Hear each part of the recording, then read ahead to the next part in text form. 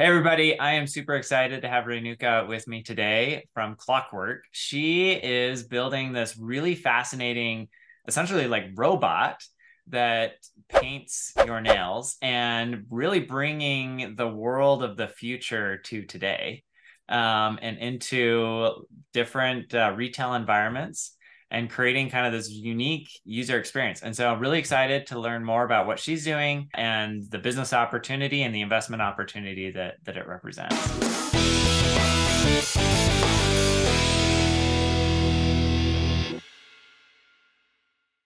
So, Renuka, thank you for joining us. Yeah, thank you so much for having me. Excited to talk. As my audience knows, the first thing that I love jumping into is just understanding the story.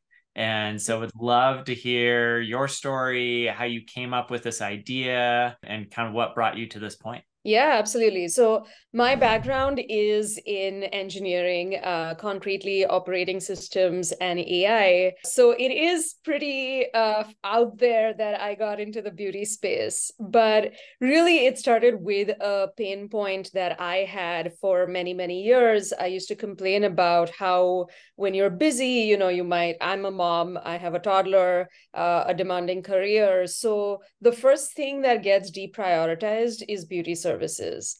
And uh, all the while you know how it makes you feel. It makes you feel confident and put together and and happier at the end of the day um, and that's sort of uh, what we realized, my co founder and I, uh, that we could bring with robots. Because right now, the market is so labor intensive, it doesn't quite make sense for them to provide a service that's like in and out. It's just not worth their time. Um, so it's, I like to make the comparison with uh, food. Like right now, the options we have are you only have five course meals and what we'd like to bring is the fast casual experience, and that can be done with robots. Very cool. Very cool. Can you talk a little bit more about that pain point that you're helping solve for for your customer? Like what is it that that customers really want that they're not getting that you're really helping solve for? Absolutely. And maybe that's more than just the person receiving the actual service too. Like like I know there's like a retail component of this too, so I'd love to understand that piece as well. Absolutely. So I think um, there's I would say there's two questions um, eh, that you're asking, really. Uh, the first is what is it doing for the end user? And the second is why does our go to market make sense? So uh, I'll sort of take them in that order. So again with the end customer right? I was that target customer. I felt the pain. Um, and these are all the people who say or feel beauty is work um, this is you know we've been made to see all of these movies like legally blonde and stuff where it's like oh your manicurist is your best friend and that's really not reality right? Um, in in reality we are just sort of trying to squeeze that service in when you have a busy weekend right? Like when can i get oh should i get my hair colored versus my nails done? Um, and when we started interviewing customers what we found was uh, a lot of people people i have this quote that like really stayed with me. She said this is the cost of doing business. I have to go to work looking a certain way and that means i have to spend those hours on the weekend. That means i have to find the childcare the parking you know whatever number of hours it takes. And that's when it really started to hit me that yeah there is a pretty big segment of people out there that are either just deprioritizing it not doing it at all or really struggling to make it happen. Um, so that's sort of where um, what I would say is the answer to the first part. The second part is okay, so we have this robot. Um, we decided to build a commercial robot because uh, I can get into the technology and, and why I think that's that's the right uh, way to go. But what we realized is we have this opportunity that got even more intense with COVID where brick and mortar really wants people to come back into their spaces, whether it is offices bringing people back to work, whether it is retail stores, uh, because they realize how important brick and mortar strategy is, whether it's airports who are trying to make um, revenue out of every last square foot that they have. Um, and each of these, um, what we call hosts or partners, um, we bring value to. And so we realized that there was this great opportunity to be where people are already spending their time. And that brings this very different level of convenience to the end customer. And we can do that while solving a problem for the retailer. Yeah, I love that. It's it's interesting. It reminds me, you know, pre-COVID, everybody was like, "Got to get online, got to get online," right? And there's this huge like shift from retail to online, and then post-COVID, a lot of the companies that we've backed or that you know we've met with that do consumer uh, products online have all of a sudden started shifting more back into retail, right? And, and onto other marketplaces and so forth. Because I think what happened is so much money started flowing into the advertising buckets of like get Google and Facebook, and it just increased. They just increased the price of those ads and now it's it's almost unsustainable to only sell online and you need to find new ways of attracting customers which has driven a lot of people back to retail so yeah i can definitely, definitely even for the end user right? That experience makes a lot of sense. It's so different when you're like touching and feeling materials or being advised by somebody in the store. Um, you know there's there's i really want a world where uh, these two worlds just combine, right? Wouldn't it be amazing if we stepped into this like immersive pod, which like looked at your skin tone and your color preferences and your age, and uh, it recommended both services as well as products. And you know, while you got your service done, this thing goes and shops for you and and brings it to you either in person or or ships it to your house. I, I really think that we're entering that that era where this is very, very possible in our lifetimes. Yeah, I think you're right. Uh, tell us about the product. Yeah, absolutely. So, uh, our first product is a robot that paints nails, and it does it faster and more precisely than most humans. It does it in about 10 minutes. Today, we charge about $10 for it uh, for the basic service. Uh, we do have plans to add on um, services like gel and designs, which will cost a little bit more. But uh, if you look out there, this is about half the price of um, an average manicure out there today. Like how does it how does it work? It's actually really hard to get a product like this to work uh, because one you're dealing with nail polish which is a non-newtonian fluid which means its viscosity literally changes based on how quickly you're pushing it out of a nozzle. Um, we have to deal with humans. Uh, this may be the first time a robot has touched an untrained human physically touched right? Uh, and so we have to deal with you know user experience. People make sudden moves. They get excited and pull out their phones. Uh, you're dealing with a fluid that evaporates really quickly. So in order to create a smooth coat you have to work quickly with it. Um, and so it, it creates all of these really really interesting technical challenges. We've had to build our own ai our own um, labeling tools even because everything out there was built for self-driving cars. And so it wasn't actually built for working at sub-millimeter accuracy. But concretely how it works is you put your hand in uh, we have two really powerful 3d cameras uh, taking 100 images really quickly uh, and building a very um, high resolution point cloud the hmm. point cloud gets sent to our proprietary AI. The AI figures out where it's going to paint. That goes to a set of algorithms that decide what speed to go over um, the surface, um, you know, at what distance from the surface, uh, and and basically paint the nail almost like icing a cupcake. Wow, that's fascinating. do you use camera technology or do you use LiDAR technology? Uh, so we use what's called structured light cameras. Um, so they basically take uh, images with and and there's a projector and and something that sort of sees how the light patterns plays and mm-hmm. based on that um, decides what the um, what the heights of various points are. Very cool. Very cool. Talk to us about like the business model how, how do you how do you make money so you mentioned it's it's a $10 service which is roughly half the price but yeah walk, walk us through the business model. Yeah so we partner with uh, either corporate uh, um, offices or retailers or you know in airports even spas salons gyms uh, anyone who really understands that this is going to bring convenience and delight to their existing customers uh, or bring new customers in. And so they pay us an upfront fee, a monthly fee, and a percentage of revenue.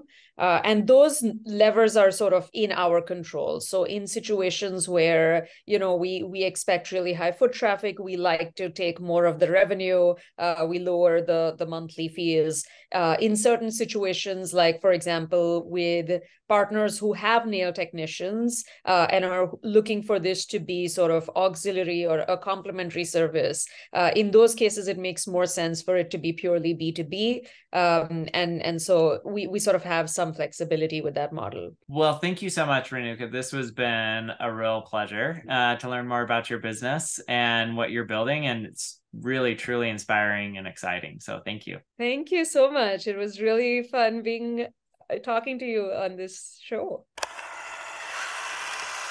All right, time for another wrap up. Get my thoughts on the things that I like, the merits of the deal, and then some of the risks you need to be aware of. Now, of course, like always, this is not investment advice. It should not be construed as such. If you decide to invest, you do so at your own risk. You should do your own due diligence. But hopefully, this is some helpful guidance on things that I'm thinking about when I'm trying to decide if I want to invest in a company like Clockwork. Let's jump in. Renuka is amazing, is she not? She has so much energy, so much knowledge. She has great experience that she brings to the table here that I think is truly unique. Having worked at, you know, hardware companies like Nvidia doing chip manufacturing, uh, having experience at Dropbox with like true software infrastructure, like she is the full package when you also consider the fact that she also personally felt this pain point, right? She's a woman, like she gets her nails done. And I think like one of the things that I think is really cool is that there are not a lot of people out there that have the technical chops as well as understand kind of the pain point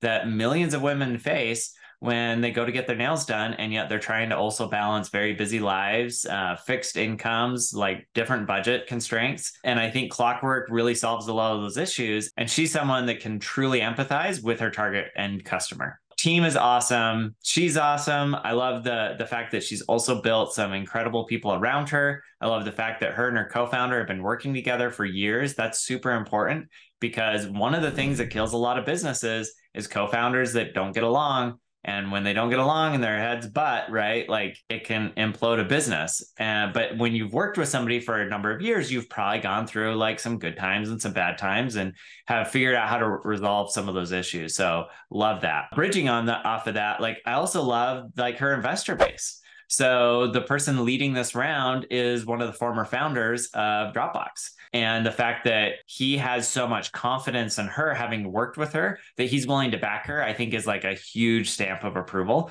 and, and a definite merit for this deal. Also, having initialized as one of our investors is awesome. They are a great early, early venture fund. They back some really great companies like Coinbase, Instacart, Reddit, and a whole bunch of others. They have a great track record. They're a really great fund to have landed as investors in the company because they bring a wealth of experience, connections, and credibility to what she's doing. So that's awesome. I also love the traction that she has. So she's she's already served eighteen thousand people or customers, uh, which I think is fantastic. So like clearly, like this business works, like the product works. It's not like pipe dreams.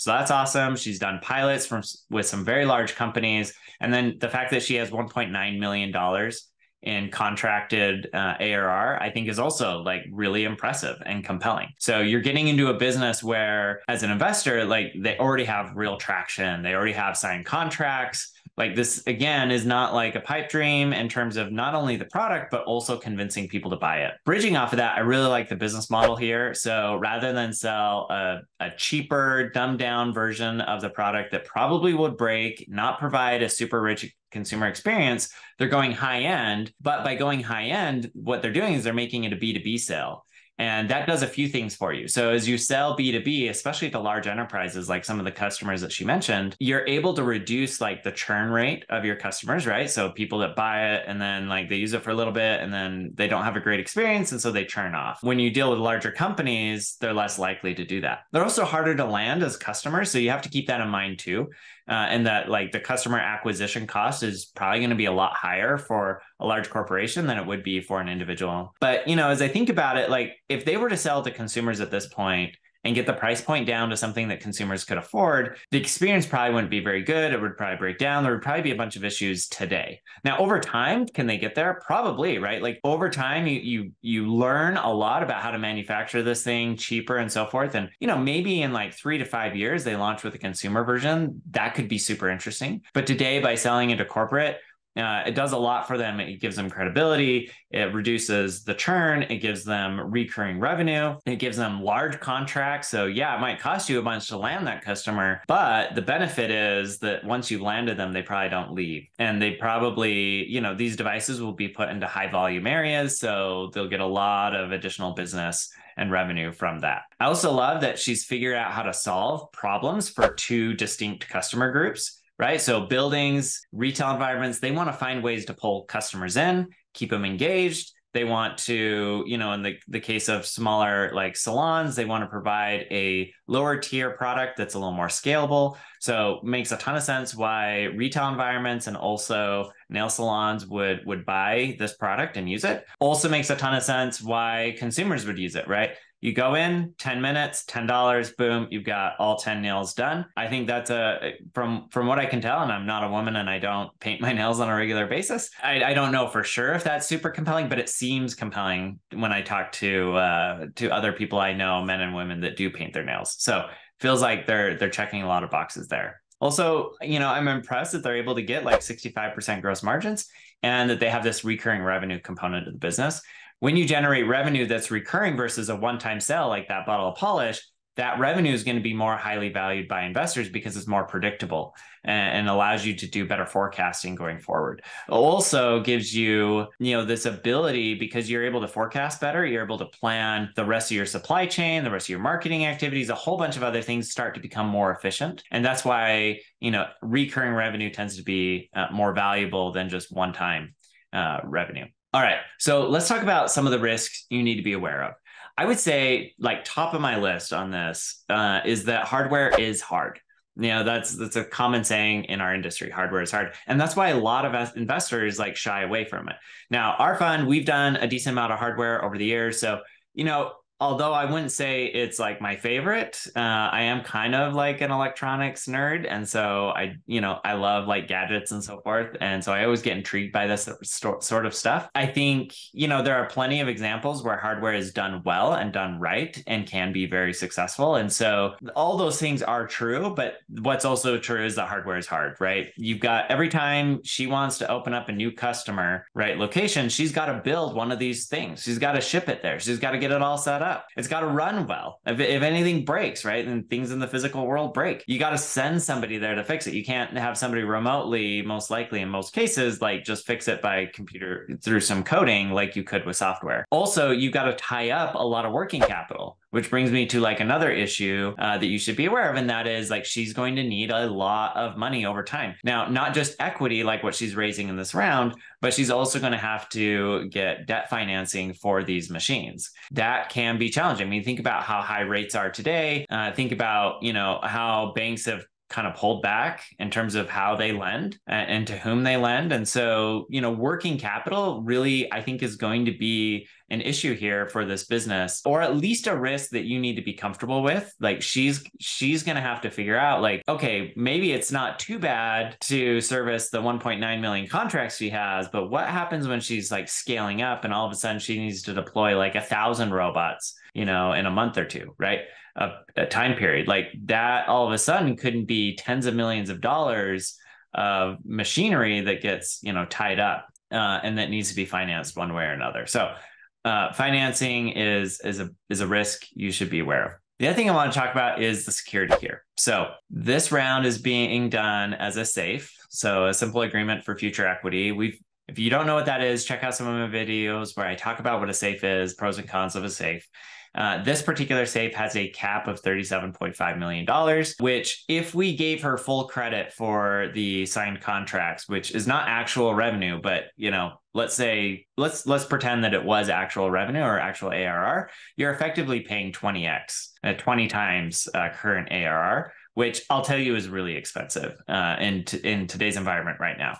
So you know, normally hardware companies. I mean, I mean, think about it this way: even even really good high margin SaaS businesses are trading probably closer like 10 to 15 times at this early stage uh, and on the public markets have come down a tremendous amount. That said, like at this stage of company, like valuation is a little bit more art than science. And so I don't know. I don't feel like the valuation is like totally crazy either in terms of like where, you know, things will probably end up pricing out at a series A. Largely you're paying up because you're getting a really strong founder, you're getting a company with really great traction. You're also getting a company that, you know, to date has raised 8 million dollars. They need to raise more. The the device that they're building is very capital intensive and is hard to build. And so there's an element of like, there needs to be enough equity left for the founders in order for them to be incentivized to keep building this. And yet you still need to raise a lot of money to build it. And so you have this like interesting dynamic where investors will basically bump the valuation up a little bit higher than they would normally because they want to ensure that the founders have a lot of equity and are highly incentivized will simultaneously have the capital that they need in order to build the product. Now the advantage there though is that when you when when you have a product that is very hard to build, it creates kind of almost natural barriers to entry because anybody who wants to compete with her is going to have to raise a lot of money, have a really great team, and do all those things, right? And and also do it at valuations that are somewhat similar. I mean, uh, they're going to have all the same challenges, right? Except for she's already in market, she's already landed a bunch of B2B customers, she already has a bunch of people that have used the product. And so if you're trying to decide between, you know, clockwork and somebody new, you're probably going to go with somebody that has a track record, right? That's out there that you know their business model works right? And so anybody that comes up behind her is going to have to have something unique and differentiated um, that's compelling enough to convince investors that they should uh, pick their product instead. Anyways, getting back to valuation and the safe, you should also be cognizant of the fact that it's a cap. So uh, if the company ends up raising it, let's say a $25 million valuation, then your investment would convert at that $25 million valuation, but really it'll come in at the same terms as the new investors coming in. And so you won't really get rewarded for that, for the risk of coming in now versus later, because I couldn't see any sort of discount on the safe like you might normally see on other safes. That being said, you know, if you're retail investor, you this might be your only chance to invest in the company. So take take it for for what you will. Overall, I really enjoyed the conversation with her. I love the fact that she is doing hard things uh, to solve pain points for customers uh, that I think by and large kind of get ignored uh, when it comes to most businesses that get funded with venture dollars. So, anyways, let me know what did you think? Is this something that you're going to invest in? Did you invest? If not, like why not? Tell me down in the comments. Let's continue the conversation there. Thanks.